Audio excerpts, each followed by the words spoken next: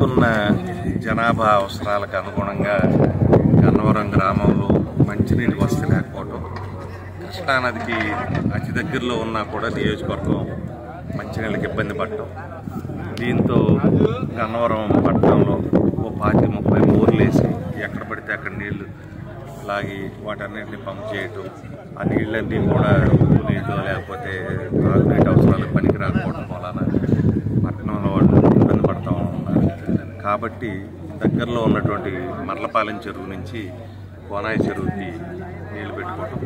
అలాగే ఈ పానకాల చెరువు క్లోజ్ చేసుకున్నట్టయితే ఇది ఒక రిజర్వాయర్ కింద పనిచేస్తుంది.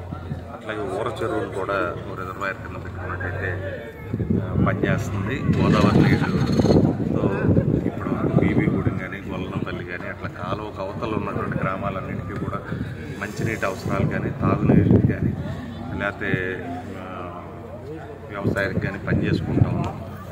ఇప్పుడు గన్నవరం పట్టణానికి కూడా నీళ్ళు తెచ్చుకున్నట్టయితే శాశ్వతంగా ఒక యాభై వంద సంవత్సరాలకు కూడా గన్నవరం పట్టణానికి తాగునీటి అవసరానికి శాశ్వతమైన వనరు ఏర్పడుతుంది. అంటే ఎయిర్పోర్ట్ విస్తరించడం దానిలో ఉన్నటువంటి పైలట్ ప్రాజెక్టు పోవడం ఏలూరు కాలువ నుంచి నీళ్ళు రాకపోవడం బోర్ల మీద ఆధారపడటం ఇటువంటి ఇబ్బందుల మూలాన గన్నవరంలో ఉన్నటువంటి తాగునీటి ఇబ్బందికి శాశ్వతమైన వనరు కింద భావించి దీన్ని చేయడం జరుగుతుంది అట్లాగే ఈ చెరువు చాలా కాలం నుంచి కూడా అంటే తాగునీటి అవసరాలకు వాడకపోవడం మూలన కొంతమంది పేదవాళ్ళు ఇక్కడ వ్యవసాయం చేసుకుంటూ ఉన్నారు.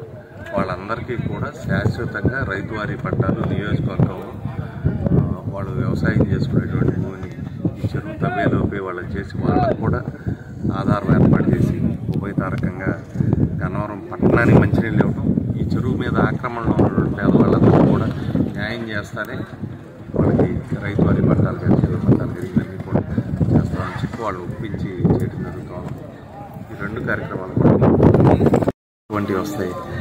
ఇప్పుడు కాటికి కాళ్ళు చాపిన వాళ్ళకి ఏం ఆలోచనలు వస్తాయి? శ్మశానమే గుర్తు వస్తుంది రోజుకి రోజు? ఇప్పుడు ఆ కామెంట్లు చేసే వాళ్ళందరూ కాటికి కాళ్ళు చాపినట్టు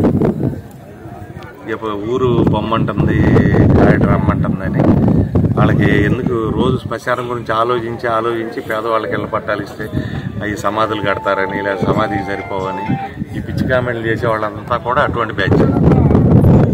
ఇప్పుడు మానికొండ గ్రామంలో నాలుగు వందల యాభై మందికి ఇళ్ళ పట్టాలు ఇచ్చాం. మూడు వందల యాభై మంది ఇల్లు కట్టుకున్నారు.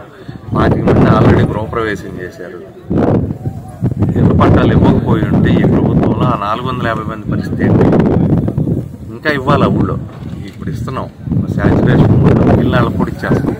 కానీ మొదటి దఫా ఇచ్చిన నాలుగు వందల యాభై మంది మూడు వందల యాభై మంది ఇల్లు కట్టుకున్నారు మానికొండ గ్రామంలో. ఇప్పుడు దావాజీగూడెం దాసుల పాక దగ్గర అందరూ ఇల్లు కట్టుకున్నారు ఆత్కూరులో కట్టుకున్నారు నొన్నలో కట్టుకున్నారు. అవసరం లేకుండా పేదవాడు ఇల్లు ఎందుకు కట్టుకుంటాడు? రెండో ఇల్లు కట్టుకుంటాడా? కాబట్టి ఇవన్నీ పిచ్చి మాటలు.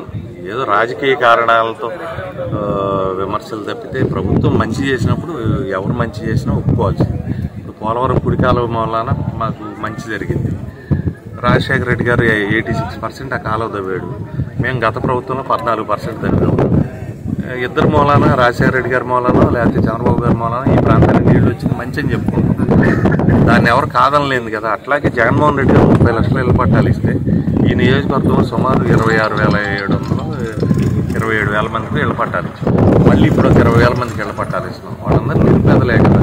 ఇళ్ళ స్థలాలు లేక ఇంటికి అద్దె కట్టుకొని అది మనిషి చచ్చిపోతే అద్దెలలో తీసుకురాని కూడా తీసుకురాని వాళ్ళు పెట్టాలి ఇబ్బందులన్నీ పడతా ఉన్నారు. ఆత్మగౌరవం లేకుండా వాళ్ళందరికీ కూడా ఆత్మగౌరవం నిపుణం ఇచ్చేటువంటి కార్యక్రమం అది దాన్ని విమర్శించే వాళ్ళందరూ కూడా పనికి మళ్ళీ సన్నాసం వాళ్ళు అమ్మ పెట్టదు అడుగు తిన్నాం అన్నట్టు మేము గత ప్రభుత్వంలో చేయలే ఇళ్ళ పట్టాలు ఇవ్వలేకపోయాము ఇచ్చేవాడికి ఏంటి ఏం లాభం. మేము ఇచ్చుంటే నాకన్నా బాగా చెయ్యి నేను పెద్ద పోటుగాడిని నేను అప్పుడు పొడిచాను. నాకన్నా ఎక్కువ పొడువు అని చెప్పొచ్చు. నేను ఇవ్వలేదు కదా నేను ఇవ్వకుండా ఇవాళ ఇచ్చేవాడిని నేను ఎట్లా తిడతాను? సిగ్గుచారం ఉండాలి కదా.